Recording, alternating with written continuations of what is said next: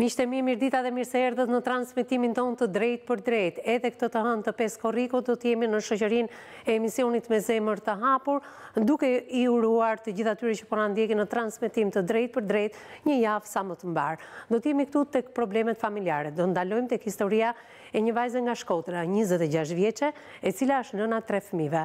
Ajo do të tregojë hap pas hapi kalvarin e gjatë të një problematike që e ka shoqëruar në tetë vite martesë dhe tashmë ish-bashkëshorti nuk paguan detyrimet ushqimore për të tre fëmijët e saj. Emigrant në Itali, ai, ajo do të tregojë jo vetëm njohjen me bashkëshortin, por edhe mënyrën se si janë njohur dhe pse ka pasur martesa e saj ulje-ngritje me të. Për më shumë, ndjekim materialin e përgatitur nga stafi i këtij emisioni dhe rikthehemi me një lidhje të drejtpërdrejtë me vetë njëzet e gjashtë vjeçarin, por edhe me specialistët e kësaj studioje.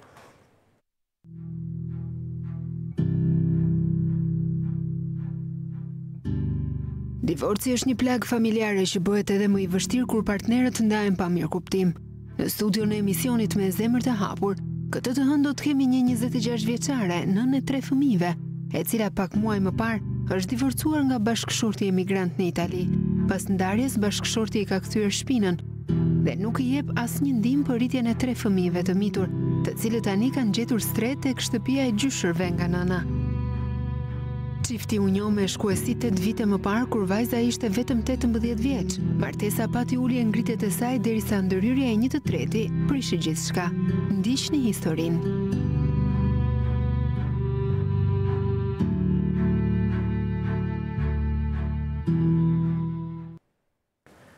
Miqtë e mi, rikthehemi në transmetim të drejtpërdrejtë, për ta orientuar sa më saktë juridikisht, por edhe emocionalisht, njëzet e gjashtë vjeçaren nga Shkodra. Me mua në studio është avokati Gylsen Zhllima, përshëndetje avokat, mirë se erdhe. Mirëdita, faleminderit për ftesën. Përballë tij është opinionistja Elena Alilaj, përshëndetje Elenë, mirë se erdhe në studion e emisionit Me Zemër të Hapur. Do të flasë kjo njëzet e gjashtë vjeçare nga Shkodra për mënyrën se si është njohur me bashortin e saj. Ajo thotë ndërhyrja e të tretëve në martesën tonë prishi edhe këtë martesë tetëvjeçare, nga e cila kanë ardhur në jetë tre fëmijë. Bashorti emigrant nuk paguan detyrimin ushqimor ndaj tre fëmijëve, por ajo ditën e sotme do të fajësojë në mënyrë të drejtpërdrejtë ish-kunatin dhe ish-vjerrën për ndërhyrje në marrëdhëniet e tyre. Për më shumë, lidhemi me Lejla Uruçin, me këtë njëzet e gjashtë vjeçare, drejtpërdrejt nga Shkodra. Përshëndetje Lejla. Përshëndetje Lejla. Unë në radhë të parë të falenderoj që ke zgjedhur emisionin me zemër të hapur për të qenë pjesë e transmetimit të sotëm, ndërkohë që historia jote mbart shumë problematika, edhe pse kanë kaluar tetë vite kur ti ke qenë një tetëmbëdhjetë vjeçare dhe mënyra e njohjes me bashkëshortin ka qenë një problematikë më vete. Gjithsesi do doja të dija si je për momentin ti dhe fëmijët e tu. Për momentin faleminderit babait e prindve të mi jemi mirë po sado mirë të jetë fëmija kërkon të jatin ka nevojë për çdo ditë e për më shumë. Po. Lejla, do ndalojmë pak tek mënyra e njohjes me bashkëshortin, por para sa kohë ka ai që nuk komunikon me fëmijët? Ai ka që në prill që është bërë gjyqi. Që në muajin prill, tashmë jemi në fillim të korrikut dhe prej kaq muajsh ai ka ndërprerë marrëdhënien dhe komunikimin me fëmijët. Po. Si rezultat i një martese tetë vjeçare dhe i ndërhyrjes së personave të tretë që ju akuzoni pikërisht ish-kunatin dhe ish-vjehrrën tuaj, ju shkuat në divorc, apo jo? Po, më se vërtetë. Atëherë, do doja të ndaloja pikërisht në momentin e parë, në mënyrën e njohjes, sepse teksa historia dhe rasti juaj ka mbërritur në redaksinë e emisionit Me Zemër të Hapur, në fakt kemi diskutuar të gjithë për mënyrën e njohjes. Ti ke qenë një vajzë tetëmbëdhjetë vjeçe dhe shkoje për të psonisur vezë në dyqanin e vjehrrës tënde. Po, një ditë dolme në Shkodër me mamin dhe. Po. Aty u ndalme tek dyqani i vjehrrës për të blerë vezët. Po. Edhe aty më ka, jam njohur me vjehrrën përpara, pastaj vjehrra më ka lajmëruar prej hallës time. Po. Kam djalin 26 vjeç ka kanë në atë kohë bashkëshorti. Po. Nëse ke dëshirë të njifesh. Si re në kontakt me këtë zonjë, ma shpjego pak më qartë të lutem moj Lejla. Ju dhe nëna juaj po psonisnit në dyqanin e vjehrrës? Po. Patët një bisedë me të, të pëlqeu për mënyrën e sjelljes tënde, të pëlqeu për paraqitjen tënde, si ishte komunikimi me zonjën? Më shumë bisedoi me mamin sepse atëherë nuk isha se flitsha shumë, isha shumë e ndrojtur. Po. Pa, foli me mamin edhe i pëlqeu se çfarë njerëzish jemi edhe pastaj më lajmëroi. Mbas sa kohësh që shkuat në dyqanin e kësaj gruaje që më vonë u bë vjerra jote, erdhi lajmësi në familje, sepse ti ishe një vajzë tetëmbëdhjetë vjeçare, apo jo, në atë kohë? Po, mbas tre ditësh më ka lajmëruar. Mbas sa ditësh, të lutem? Tre ditë. Mbas tre ditësh, nëpërmjet hallës tënde? Po. Doje ti në atë kohë të njiheshe me një djalë njëzet e gjashtë vjeçar, se ti ishe vetëm tetëmbëdhjetë? Në fillim nuk doja, pastaj dolme në, kemi dalë përsëri me familjen në Shkodër, dhe aty kishte ardhur bashkëshorti për pushime, e pava për larg, rastësisht, aty pastaj erdhi më foli bashkëshorti, do kisha pas dëshirë të njihemi, po më pëlqen shumë, e tjera, tjera. Pra, Lejla, ty të përzgjodhën për nuse të asaj familjeje. Nuk është se ishte dëshira jote apo përzgjedhja jote të njihje këtë djalë.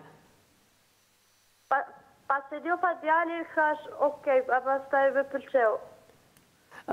Lejla, një tetëmbëdhjetë vjeçare ti kishe mbaruar shkollën atë kohë? Po, kisha mbaruar nëntëvjeçaren. Vetëm nëntëvjeçaren? Shkollën e mesme? Jo, nuk e kam vazhduar. Po pse? Për mundësi ekonomike, gjitha së bashku. Dhe, dhe në atë kohë ishte i vetmi rast që t'u ofrua për martesë apo kishte pasur edhe raste tjera? Kishte pasur edhe raste të tjera, por nuk kisha dëshirë. Ti vetë Lejla e kishe refuzuar apo prindërit e tu? Unë. Ti. Sa fëmijë jeni në familje Lejla? Ne jemi katër fëmijë, dy vëllezër e dy motra. Të gjithë të gjithë të sistemuar, të martuar, me familjen e tyre? Jo, jo. Vëllai është në Itali. Po. Është më i madh se unë, motra është e martuar dhe vëlla i vogël është i fejuar.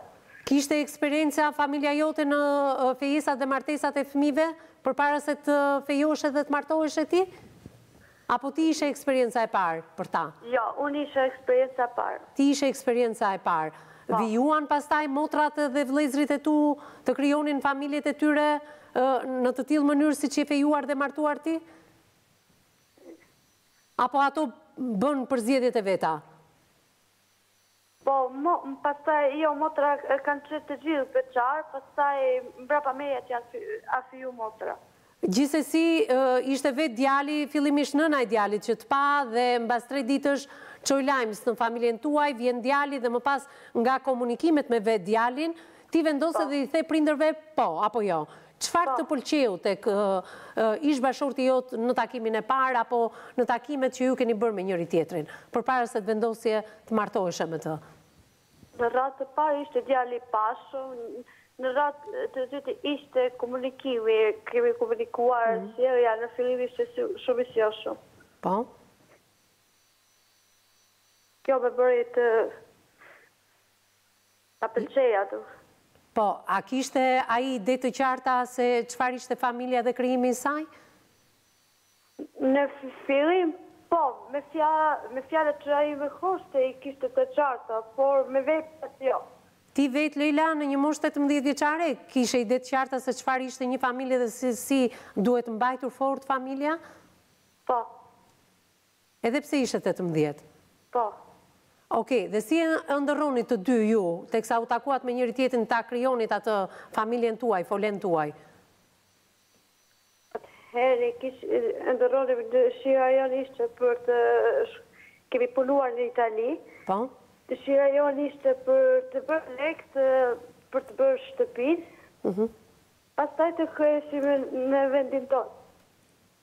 Pra, të punonit të dy bashkë, thonit ju, në Itali, dhe të grumbullonit të ardhurat, kursimet tuaja dhe të vinit të ndërtonit një shpi në Shqipëri. Pse nuk u realizua kurrë kjo ëndërr? Çfarë ndodhi?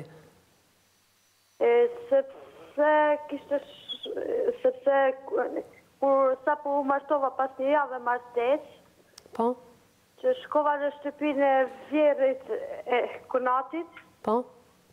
Bashkëshorti u desh për të shku në Itali urgjentisht për dokumenta. Po. Aty kunati mori një palë rruza të vjerrës, i mshefi dhe më akuzuan për vjedhje. Të akuzuan ty për vjedhje? Po. Pse çfarë ndodhi që të akuzuan për vjedhje? Gjoja që kisha marrë një gjerdan vjerrës. Pra në shtëpinë tuaj u vodh një gjerdan. Po. Dhe këtë gjerdanin e vjedhur ë ta faturuan ty. Po. Mbi prova, mbi fakte? Jo. Nuk ishte as prova as fakte thoni ju. Jo, jo, as prova as fakte, madje pas pesë minutash e nxori kunati vetë.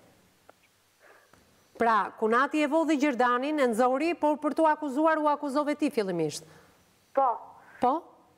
E kishte fshehur apostafat vetëm që unë të akuzohesha nga vjerra dhe burri. Po, një gjë nuk kuptoj, Lejla. Ti ishe përzgjedhja e nënës së bashkëshortit tënd, ë, e asaj që do bëhej vjerra jote e ardhshme. Të pa, të përzgjodhi për të birin këmbëngulën shumë, mbas tre ditës të çuan lajmësin, dhe pse nuk të donin më nuse të djalit. Kur ka ndodhur kjo historia e gjerdanit, mbas sa kohësh që ti shkove në këtë familje? Mbas një jave martesë. Mbas një jave martesë. Ti mbas sa kohësh u martove? Qëndrove e fejuar disa kohë me të? Jam fejuar në tetor, në janar jam marr, kam pu, veprim Ah, shumë prokuror. shpejt. Brenda një Po. muaji erdhi dhe akuza. Pse mendon ti se nga e përzgjedhura e tyre u ktheve pastaj në një person që nuk të dëshironin për djalin? Në fakt më shumë këtu ka ra, kunati ka qe, ka qenë sebepi. Sa vjeç Se ishte me kunati? vjehrre shkonim shumë mirë me bashkëshortin. Po. Kunati sa vjeç ishte që nuk të dëshironte? Kunati ishte njëzet e tetë vjeç. Njëzet e tetë vjeç? Po. I fejuar, i martuar, kishte familje? Jo, jo, beqar. Beqar. Dhe nuk nuk të donte ty si nusen e vëllait? Jo, ishte xheloz për raportin midis vjehrrës dhe burrit që kishim. Lejla, ti e ke kuptuar sot këtë gjë apo e kuptove që atëherë? E kam kuptuar që atëherë i kam kërkuar të divorcohem më përpara, para se të vinin fëmija në jetë. Po. Por nuk dëshironte bashkëshorti. Të kuptoj. Mirë, ë, le të flasim pak pra që ti në një farë mënyre, nga gjithë pjesëtarët e kësaj familje ishe e mirëpritur. Vetëm nga ana e kunatit nuk ishe e mirëpritur. Po. E mban mend takimin e parë me kunatin si ka qenë?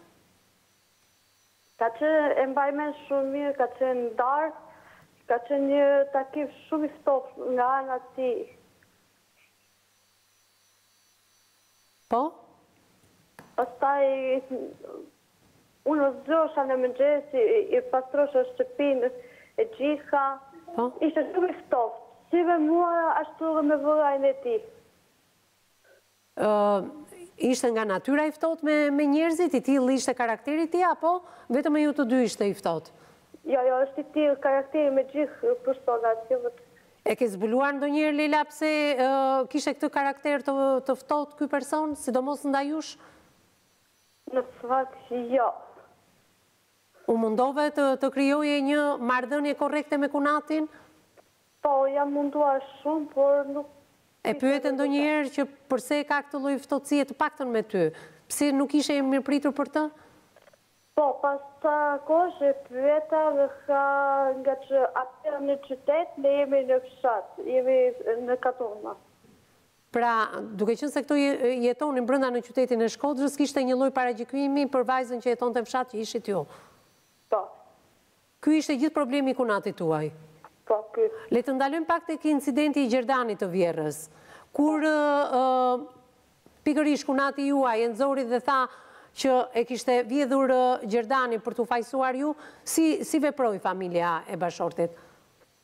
E jo më ishte nëna e bashkëshortit ishte në krahun e kunatit, kurse vjehrri ishte në krahun tim. Po vjehrra pse ishte në krahun e të birit? Kunatit? Po e ka pikë të dobët nuk e di. Pra ju thoni që vjehrra diferenconte djemtë e saj, bashkëshortin tuaj dhe kunatin? Po. Po kur ky e nxori gjerdanin e vjedhur nga vetë ai e kishte fshehur pikërisht për t'ju fajësuar ju, çfarë ishte për të mbrojtur aty nga ana e vjehrrës tuaj? Nuk e di, pastaj aty tha, mos i trego Zihniut, t'i mbyllim këto gjëra këtu dhe mjaft. Pra të mbylleshin gjërat aty dhe të mos shtyhej më tej biseda? Të mos analizoheshin edhe detajet përse e bëri këtë veprim? Jo, po, po, për këtë. Kështu dëshironte vjehrra. Po. Por, ti në atë kohë ishe një muaj, që ishe martuar, një muaj e fejuar dhe shumë shpejt rrodhën ngjarjet nga dhjetori në janar. Po. Por, nuk ishe bërë ende me fëmijë. Jo. Ti në këtë kohë kërkove divorcin. Po. Pse u riktheve edhe një herë? Se sot je njëzet e gjashtë vjeçe dhe nënë e tre fëmijëve. Erdhi bashkëshorti tha do të do të ikim në Itali nuk kemi punë më me me këta Po. të vazhdojmë jetën tonë. Le këta të bëjnë jetën e tyre ne do të ikim të bëjmë jetën tonë. Vajte ndonjëherë në Itali siç të premtoi bashkëshorti?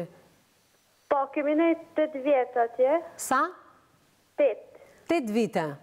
Po, tetë vite. Si ishte jeta juaj larg familjes së bashkëshortit? Duke qenë se deri në këto momente më the që familja e tij ndërhynte shumë. Në momente që nuk flisnim me ta, ishim shumë të lumtur, ishim familja më e lumtur në botë. Po. Pastaj kur thirrnin në telefon, ia turbullonin trurin, i vendosnin s'di çfarë gjërash në kokë dhe aty ai pastaj U bënte me nerva. Lejla, mund të më thuash pse ndikonte familja, çfarë i thoshte? Se ti thua i thonin lloj lloj gjërash. Kush ishin këto gjëra? Gjëra që kam dëgjuar vetë me veshët e mi ka qenë që unë të bëj të ndahesh edhe me dhjetë fëmijë do të bëj të ndahesh. Të kuptoj. Edhe dhjetë fëmijë të kishit, ata do të ndanin. Po kishin një shkak, se kështu si e tregon ti është pa shkak. Pra, ti nuk është se ke pasur konflikte, përveç gjerdanit. Kemi pasur për shkak të shtëpisë, nga që vjerra dëshironte t'ia linte kunatit shtëpinë. Pra, i gjithë shkaku ka qenë prona, shtëpia. Po. Kjo shtëpi ishte në Shkodër në emër të kujt? Të, nëse s'gaboj, të vjerrit. Në emër të vjerrit. Dhe vjerra dëshironte t'ia linte kunatit? Po. Dy djem ishin ata? Po, dy djem. Vetëm dy djem. Dhe donin ta linin pa pasuri dhe pa ë trashëgimtar të kësaj prone bashortin tënd? Po. Po për çfarë shkaku? Nuk besoj të kesh qenë ti shkaku, apo ti ishe shkaku? Më shumë kam qenë unë shkaku sepse i ka në telefon hapta se në sytë e mi nëse do prone ndajo nga bashkëshortja pastaj të japin prone ta blej unë i tha ai ëma. E pra, Lejla, i gjithë shkaku nuk ka qenë me djalin, nuk ka qenë me kunatin, paska qenë me ty. Tani le të dalim dhe ta analizojmë pse ishe ti shkaku. Çfarë nuk i pëlqeu tek ty, se ti ishe përzgjedhja e vjerrës tënde. Këtë nuk arrijmë ta kuptojmë. Ia kam bërë shumë herë këtë pyetje, po nuk kam marrë asnjë përgjigje nga ana e vjerrës. Çfarë e bëri këtë zonjë të ndryshonte mendje? Nuk e di, nuk e di, nuk e kam iden fare. Ti mban mend se si ka qenë sjellja jote sot që e analizon Lejla? Ke qenë korrekte me ta? krijoje konflikte me ta, ata shikonin një marrëdhënie jo të mirë ndaj djalit të tyre, na thuaj një një shkak të paktën. Jo kam qenë shumë korrekte me ta, madje u u zgjosha në pesë të mëngjesit me vjehrren, shkoja për ta ndihmuar se mu ishte, nga që ishte e e moshuar, shtatëdhjetë vjeç, gjashtëdhjetë vjeç. Po komunikimi me vjehrrën si ishte, ti ke jetuar një farë kohe me të gjithë ata apo jo? Po, kam jetuar me ta, ka qenë shumë i mirë, pastaj pas gjerdanit filluan ofendimet, filluan kritikat, filluan shumë herë. Kritika për çfarë Lejla, mund t'i themi pak këto kritika të lutem qofse i mban mend? Kritika si si u vishja, se si u rregulloja, si i bëja punët e shtëpisë, Pra ti ishe një vajzë tetëmbëdhjetë vjeçare dhe ashtu ishe mësuar. Këto ishin traditat e tua për mënyrën se si ti e menaxhoje shpinë, ato donin një lloj tjetër menaxhimi, apo jo? Të mësonte vjerra ty si t'i bëje punët e shpisë? Si i pëlqenin asaj? Jo. Jo. Po tek veshja jote çfarë nuk shkonte që nuk i pëlqente atyre? Ajo kishte qejfi më shumë për të shkurtërat, unë jam tip sportiv. Pra ti vishje të shkurtëra? Jo, i vishja sportive. Ti i vishje sportive dhe zonja donte një lloj veshje tjetër? Po. Kuptoj. Pra, zonja ndërhynte deri tek veshja jote, vjerra? Po. Këtu krijoheshin debate? Po. Ti mbroje veshjen tënde dhe ajo donte një veshje tjetër? Po, po. Megjithatë, ju thatë që shumë shpejt kaluat në Itali. Në Itali ke qëndruar vetëm me bashkëshortin, apo jo? Po. Ato nuk është se vinin. Nuk është se jetonin me ju. Jo, nuk jetonin, rrinin në Shqipëri me kunatin. Po atëherë pse, pse përfundoi marrëdhënia me bashkëshortin? Në Itali ku po realizonit gjithçka që kishit folur në fillimet e njohjes tuaj.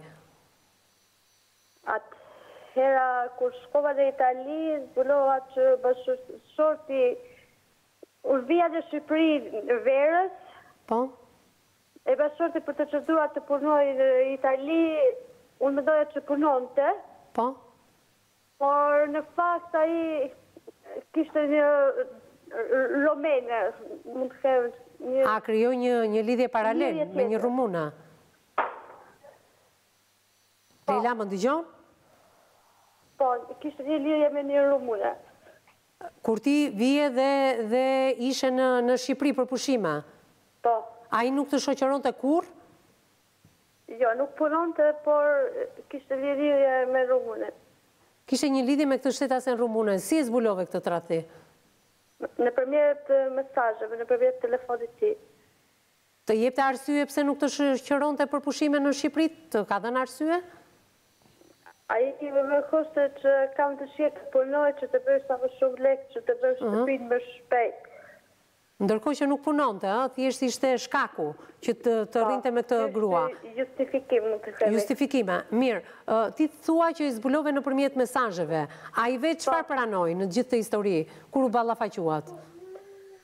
Ai në fakt nuk e pranon të thotë që është një shoqe, është një mikeshë, po Iko, ja, me një mikeshë nuk mund të flasë gjithçka, nuk ka privatësi.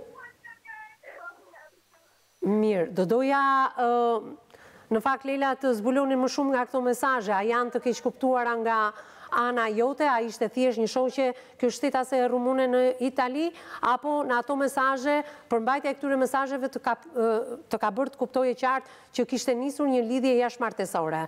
Por ndërkohë në Itali ti ke lindur dhe tre fëmijë, të gjitha këto do t'i diskutojmë vetëm pas pak menjëherë mbas hapësirës publicitare.